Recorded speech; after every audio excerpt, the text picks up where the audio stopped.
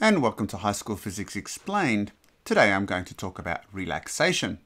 If you watched my previous video, I talked about resonance and I spoke to you about two factors that lead to a higher energy state of our hydrogen nuclei. Number one, we have spin flip where you get more parallel alignment going to anti-parallel alignment. And secondly, the precessing hydrogen atoms start to go in phase. The net result is that initially you of course have a net magnetization vector that is in the vertical position, leading to a transverse magnetization vector going in the horizontal direction. And so we say that that magnetization vector has been knocked down. And that in essence is resonance. So we're going from a lower energy state to a high energy state. Yeah. And obviously the hydrogen nuclei have absorbed energy and that's really important as we continue on.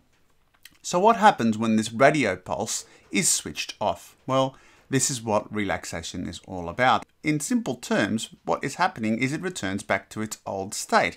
Firstly, we have the net magnetization vector due to the spin down options, the antiparallel options, going less to the lower energy state.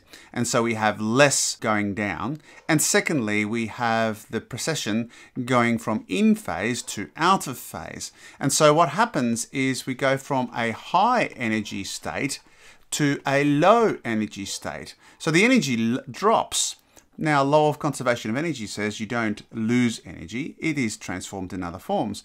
And so what happens is as this goes from there to there, we end up getting energy being released. And that energy is in the form of radio waves, which are then picked up by these coils. And so in essence, it's one set of coils that causes the hydrogen atoms to go into a higher energy state, that is resonance. But as they relax, and they return back to normal with the net magnetization going from a horizontal position to a vertical position like so, we have a loss of energy. And that in essence is what relaxation is all about, picking up this energy. So how does that produce an image? Here is an MRI of a slice of the brain and you can see that the image is black and white and what is shown here, in essence, is the strength of the signal received by the MRI machine based on the density of hydrogen atoms. Now, the brain is made up of a whole bunch of things. It's made up of bone, it's made up of water, it's made up of fat, and obviously a number of other things. But if you want to concentrate solely today on these three factors, will explain why they appear different shades of grey. So this image is called a proton density image. So it's specifically just measuring the strength of the signal received, the radio signal received, by the density of the hydrogen atoms received. So let's deal with first with fat. Now fat is very high in hydrogen. And so as a result, because it's more dense in hydrogen, you're going to get more radio frequencies from this, these areas. So areas such as this is white because there's a high proportion of fat in those tissues.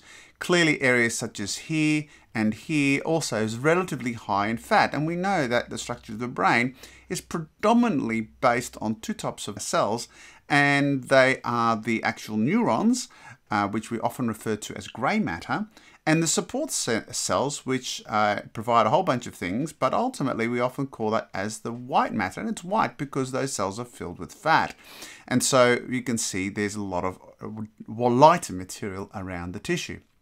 If you look at this space over here, this is filled with predominantly water. Why? Because your brain is bathed in a liquid called cerebral spinal fluid, and it is particularly just water plus a few other things but we won't discuss that right now. Water has a lower density than fat in terms of hydrogen atoms, so therefore you're going to get a darker signal over here. Bone, similarly, is very dark. The proportion of hydrogen atoms, at least when compared to fat, is a lot lower, so bone appears fairly dark in the tissue type. If you then look at the edge here, this is white again, well that can be explained by the fact that your scalp is covered by a layer of skin which has some subcutaneous fat. Well there you go, there's the fat again, and therefore you have a higher proportion of hydrogen atoms, whereas these of course have a low proportion of hydrogen atoms. And in essence, that is what we're getting. But let's now concentrate on two aspects of the relaxation. And relaxation can be really divided up into two types.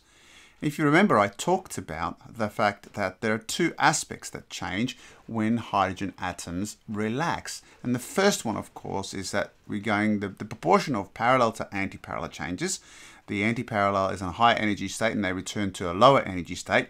And the second part was the aspect of the hydrogen precession going from an in-phase situation to an out-of-phase random situation.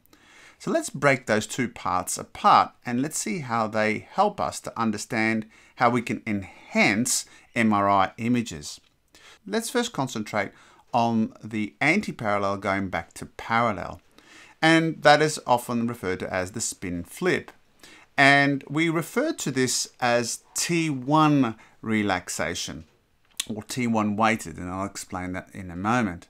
But in essence, the rate at which these antiparallels go back to the parallel position depends on the actual tissue type. It isn't a constant rate, and the rate is determined by how much energy is lost in the surrounding tissue. So different tissue types have different relaxation rates when you're talking about the anti-parallel to parallel section. So here's a graph and we have two tissue types. And here we've got the signal, it's called the longitudinal magnetization recovery value, but in essence it tells you the rate of relaxation that is going on in terms of the anti-parallel to parallel. Now, the fact is, is that because of the way fat is, it relaxes at a much greater rate. So this tissue type here, tissue A, is fat. So tissue type A, being fat, has a different rate of relaxation than tissue B, which in this case is water. And so the MRI machine is not only looking at the energy amount that it's receiving from any particular part of the body, but it also measures the rate at which those energy signals are changed. And it actually measures it at, at the value of 63%. So it measures a time, that's where the T1 and the T2 comes in. It measures the time at when that signal becomes 63%. And you can see that the value for fat is different to the value for water. You can see water takes a while to get to 63%, whereas fat is particularly quickly. As a result, is superimposed on our proton density image. So here is the same slice, but now what we have is a situation where we're saying it's T1 weighted. And as a result, being T1 weighted, you can see there's more contrast. And these areas that are appearing dark is actually the areas where there is a low density. So this is water or high in water value. This is of course clear also in this section over there. Of course the cerebrospinal fluid. When you look the brain, the brain is a much lighter color. Well, it has higher density, and of course it is a brighter color. And then if we look at the subcutaneous fat, which is predominantly fat, you can see it's whiter still. So we call this a T1 weighted image, and it is measuring the rate at which the spin lattice uh, recovers or relaxes. Now, this is really helpful. So in essence, what happens is, is that um, areas where there's high fat will appear white, area where there's uh, very low fat and water and empty space, at least or filled with fluid in terms of the brain, we have appears dark. And that actually gives us greater definition, greater contrast in terms of the MRI, and that is really good for structure purposes the fact that you got greater definition of the differences between fat and water and so forth, you can see this greater contrast. So that's T1 weighting. Let's now look at relaxation type 2. as I told you, there's a second aspect of relaxation, and that is when the hydrogen precession goes from an in phase option, remember that's actually the important part in contributing why things get knocked down, to out of phase. So we have a gradual phase difference, and as a result, you're going to get it losing energy. But the rate at which tissue types relax in this aspect, which we often call to the spin-spin relaxation, is also varying depending on the tissue types. If we were to look at the graph, and we're not at this stage interested, if you're studying MRIs at university, this would be very important, but since this is a high school physics explained eh, perspective, I'm not looking too much at the actual values here, but what we're seeing here is that the rate at which they go out of phase differs. Now you could measure the time at this value, but there's not a lot of difference here between the rates of these two tissue types. When we look at this value at a bit of later time, you can see there is a much greater difference between these two values. And so the greater difference that we have in this MXY decay, the more contrast you're going to get. So the question is, is what are these two tissue types? Well, the first is this lower, this changing from in phase to out of phase is quite quick when it comes to dense materials such as bone, but it is slower in terms of substances such as water. And so now you have a variation between the bone and water, and obviously a whole bunch of different substances in between. And so what happens is that water appears bright as a result, but bone appears dark. Now, if you were listening about T1 weighting, it's the opposite. Water appears dark in that situation, and bone also can appear dark, but its water is important here in terms of bright. Now, why is that important? So here I have my proton density situation. I told you about that over here. And there's T1 weighting over here. You can see these spaces here. These are called ventricles. They're mainly filled with cerebral spinal fluid. You can appear the dark. If you notice here with T2 weighting, the reverse is true. So in this case, you'll notice that the water areas are bright. So it's a clear example of T2 weighting. This is here not really clear with the proton density situation. It's certainly clearer here with the T1 weighting, but as long as you understand that the dark area is here is represented of water, representative of water. But in T2 weighting, you can see the reverse. Notice that the fat doesn't become really clear, but you've got this white over here, which is the fluid, and you sort of have almost a reverse image. Now, why is this useful? Well, T2 weighting is often used for functional reasons. So although in this case we are looking at the brain where we don't see have much movement, where there is fluid movement, you'll find T2 weighting becomes really important because you can pick up the, what moves in terms of the fact that it's most likely to be a liquid, which means water in terms of the human situation. So that's T1 weighting and T2 weighting as opposed to the single proton density. So let's have a look at this image over here. Can you guess what type of weighting this image is?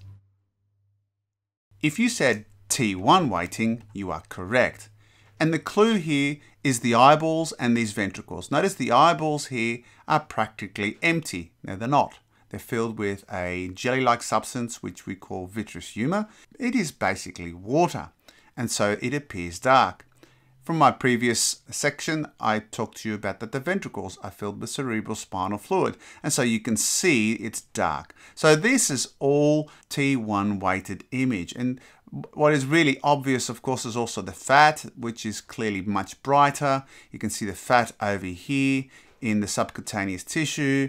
Um, you can see the empty spaces, which is your airway, which you'd expect to be dark. All of these here are representative of T1 weighting.